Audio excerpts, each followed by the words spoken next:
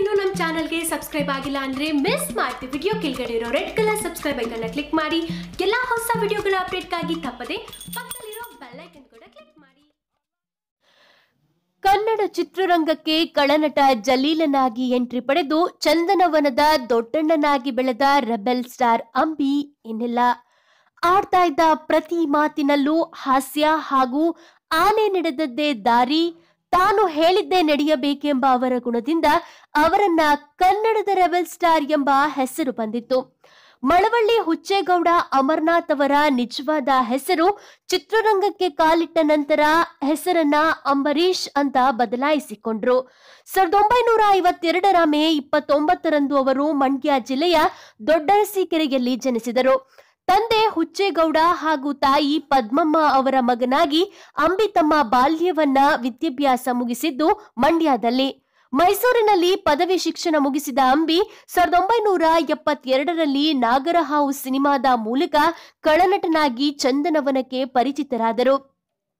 ಪಿಟೀಲು ಚೌಡಯ್ಯ ಅವರ ಮೊಮ್ಮಗನಾಗಿದ್ದರು ಆ ಕಾಲಕ್ಕೆ ಸಿನಿಮಾಗಳಲ್ಲಿ ನಾಯಕನಾಗುವುದು ಅಷ್ಟು ಸುಲಭದ ಮಾತಾಗಿರ್ಲಿಲ್ಲ.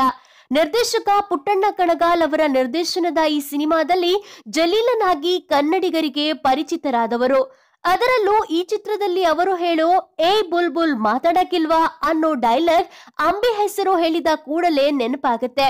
ಈ ಸಿನಿಮಾದಲ್ಲಿ ಕಳನ ಪಾತ್ರಕ್ಕೆ ಪುಟ್ಟಣ್ಣ ಅವರು ಹೊಸ ಮುಖದ ಹುಡುಕಾಟದಲ್ಲಿದ್ದಾಗ ಅಂಬಿಯ ಸ್ನೇಹಿತರೊಬ್ಬರು ಅವರ ಹೆಸರನ್ನ ಪ್ರಸ್ತಾಪಿಸಿದ್ರು. ಆಗ ಅಂಬಿಯ ಸ್ಕ್ರೀನ್ ಟೆಸ್ಟ್ ಹೇಗಾಗಿತ್ತು ಗೊತ್ತಾ? ಪುಟ್ಟಣ್ಣ ಅಂದು ಅಂಬರೀಶ್ ಅವರನ್ನ ಸ್ಟೈಲಿಶ್ ಆಗಿ ನಡೆಯುವಂತೆ ಹೇಳಿದ್ರಂತೆ. ಆಗ ನಡೆಯೋದ್ರ ಜೊತೆಗೆ ಅಂಬಿ ಸಿಗರೇಟ್ ಅನ್ನ ಬಾಯಿಗೆ ಎಸೆದುಕೊಂಡು ಪೋಸ್ ಕೊಟ್ಟಿದ್ರಂತೆ. ಅದನ್ನ ಕಂಡ ಪುಟ್ಟಣ್ಣ ಅಂದೇ ಅಂಬಿಗೆ ಓಕೆ ಹೇಳಿದ್ರಂತೆ.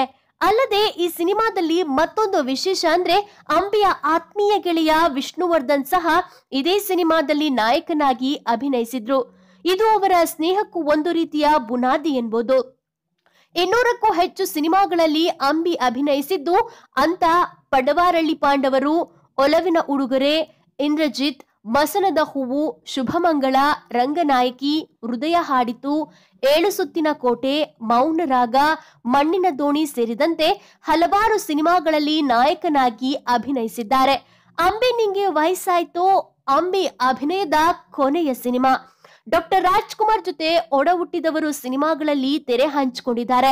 ಅಂಬರೀಶ್ ಅವರಿಗೆ ಕನ್ನಡ ಚಿತ್ರರಂಗದ ರೆಬೆಲ್ ಸ್ಟಾರ್ ಮಂಡ್ಯದ ಗಂಡು ಕಲಿಯುಗದ ಕರ್ಣ ಎಂಬ ಬಿರುದುಗಳಿವೆ. ಬಹಳ ವರ್ಷಗಳ ಕಾಲ ಪ್ರೀತಿಸ್ತಾ ಇದ್ದ ನಟಿ ಸುಮಲತಾ ಅವರನ್ನ ಸಾವಿರದ ಒಂಬೈನೂರ ತೊಂಬತ್ತೊಂದರಲ್ಲಿ ವಿವಾಹವಾಗ್ತಾರೆ. ಈ ದಂಪತಿಗೆ ಇರೋ ಒಬ್ಬನೇ ಮಗ ಅಂದ್ರೆ ಅಭಿಷೇಕ್. ಈಗಷ್ಟೇ ಕನ್ನಡ ಸಿನಿಮಾ ರಂಗಕ್ಕೆ ಕಾಲಿಡೋ ತಯಾರಿಯಲ್ಲಿದ್ದು ಅಮರ್ ಎಂಬ ಸಿನಿಮಾದಲ್ಲಿ ಅಭಿನಯಿಸುತ್ತಿದ್ದಾರೆ ಇನ್ನು ಕನ್ನಡ ಸಿನಿಮಾ ರಂಗದಲ್ಲಿ ವಿವಿಧ ಪಾತ್ರಗಳಲ್ಲಿ ನಟಿಸಿ ಸಾಧನೆ ಮಾಡಿರೋ ಅಂಬರೀಷ್ ಅವರಿಗೆ ಎರಡ್ ಸಾವಿರದ ಹದಿಮೂರರಲ್ಲಿ ಕರ್ನಾಟಕ ವಿಶ್ವವಿದ್ಯಾಲಯ ಗೌರವ ಡಾಕ್ಟರೇಟ್ ನೀಡಿ ಗೌರವಿಸಲಾಗಿದೆ.